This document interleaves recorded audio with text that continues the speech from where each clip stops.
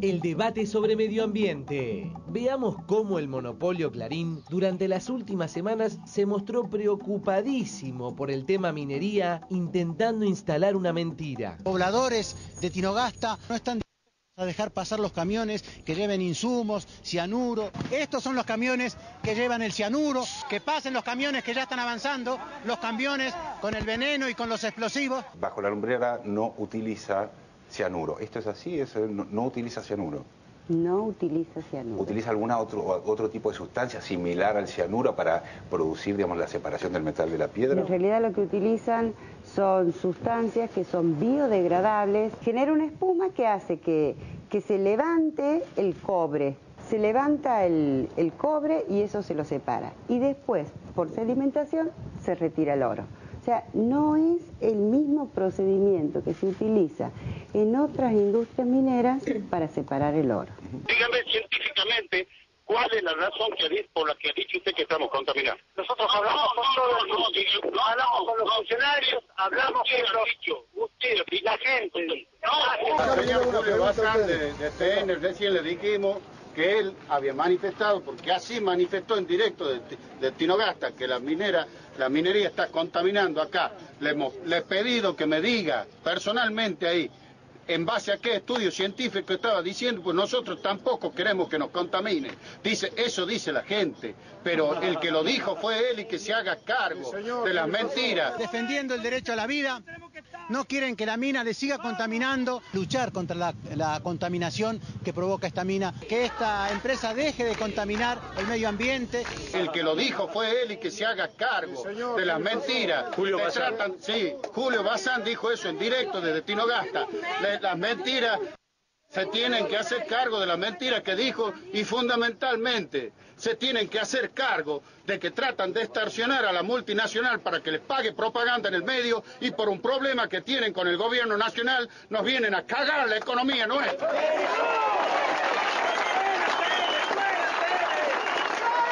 Mientras la Corpo sigue desinteresada de las pruebas que demuestran la campaña sucia de Macri y Durán Barba, 678, Duro de Domar y TBR tocan todos los temas con un saludable debate. En el año 2005 el fiscal federal Gustavo Gómez tiene un informe que yo vi en donde el, propio informe Estudio de Impacto Ambiental de la minera lumbrera dice que utiliza cianuro y el informe de Gendarmería dice que utiliza cianuro. A lo mejor cambió la tecnología, yo no lo sé. Bueno, lo dijimos acá. Aquí nosotros dijimos, Félix, que justamente teníamos acceso, yo le comenté, es la página 231 del informe de impacto ambiental que presenta la lumbrera en el año 98.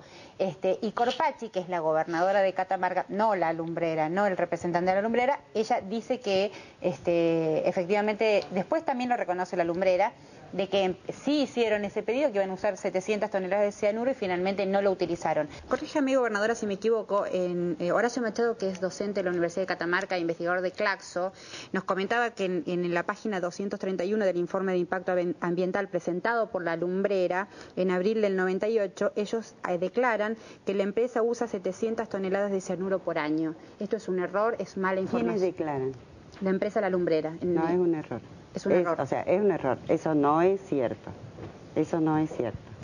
La SIDAT es del 98, ¿esto puede ser que haya cambiado el método de separación del metal? Mire, eh, a lo mejor, porque esta mina empezó en el 97, o sea que estaba recién empezando, puede que hayan planteado el uso de cianuro y que automáticamente se le exija que no y entonces transforman eh, y utilizan otra tecnología que hace que no tengan que utilizar cianuro.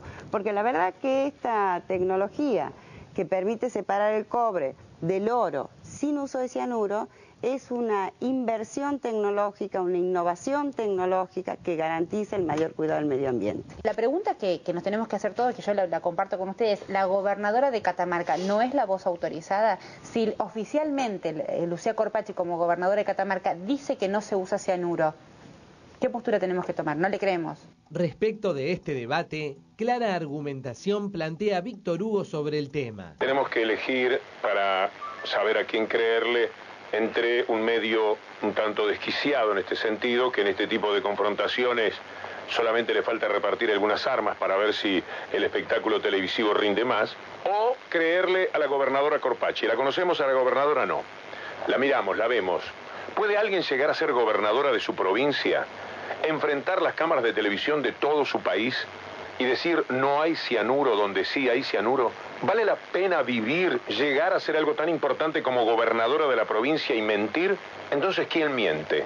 Ustedes son los que desde sus casas, desde sus autos, desde sus camiones, tienen que elegir a quién creer. Ya teniendo en claro la no utilización de cianuro en la alumbrera, profundicemos el debate sobre medio ambiente y avances tecnológicos, en donde todos aquellos que buscan vivir mejor incurren en contradicciones diarias propias del sistema. Aquí me parece que hay una tensión sobre desarrollo industrial y medio ambiente, contaminación y eh, lo que son recursos naturales. Y me parece que ahí lo que tiene que haber es una intervención más clara del Estado. A la vez también que toda intervención en actividad económica genera contaminación. Todos los teléfonos que tienen en el bolsillo tienen batería de litio. Hay un tema que tiene que ver con la tecnología y la minería la unen mucho.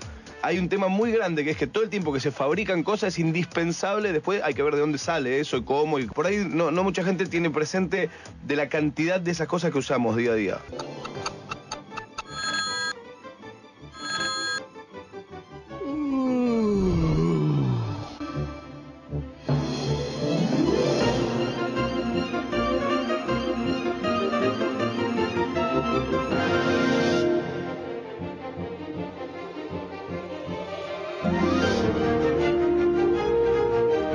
Un tema paradójico que el más ambientalista del mundo, cada vez que está usando una computadora, hay una contradicción filosófica. Hola, soy Natalia Oreiro, estoy junto a la gente de Conciencia Solidaria. Decirle no a la mega minería cielo abierto.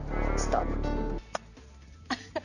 Puedo estar en cualquier lugar del mundo, pero siempre conectada con los que más quiero. El más ambientalista del mundo, cada vez que está usando una computadora, hay una contradicción filosófica. Digo, es curioso, no, bueno, nos pasa todo, no tiene solución. No es que está mal, no es que estoy diciendo, soy ambientalista, tira tu computadora. Los sectores más fundamentalistas en cuanto al discurso ecológico son los sectores que viven en los lugares donde más se contamina. Por ejemplo, la industria a cielo abierto más contaminante de todas es la industria automotriz. ¿Qué mundo queremos dejarle a nuestros hijos? Entra ahora a www.greenpeace. Disculpadme. ¿Vos sos Sí. el dueño del Corolla? Ah, sí, sí. La industria a cielo abierto más contaminante de todas es la industria automotriz. Y cuando alguien se compra un auto o cambia el auto, lo felicitas generalmente. ¿Qué, qué tal? Genial, me encantó tu Corolla. No le decís, che, estás contaminando el planeta o estás tirando cianuro, porque también tiran cianuro, el cianuro de los combustibles. La minería, que a algunos les parece casi una mala palabra, pero que haciéndola sustentable y respetando las normas que se hacen en otros países, es todavía una actividad subexplotada, absolutamente subexplotada en la región. En mi país, por ejemplo, eh, muchos critican la minería y sin embargo ponen a Chile como un modelo de ejemplo de desarrollo económico. Yo les digo, pero si el principal desarrollo que tiene Chile eh, ha sido el cobre, ¿por qué lo que está del otro lado de la cordillera no va a estar de este lado de la cordillera? Y creo que hay que pensarla en serio la minería y hay que empe- empezar a pensarla sin prejuicios, sin ataques. Creo que también hay que elaborar una estrategia de desarrollo medioambiental porque Europa y los países centrales le han hecho mucho daño al planeta y creo que Latinoamérica tiene la posibilidad de hacer un desarrollo sustentable eh, ecológicamente y creo que es un gran desafío.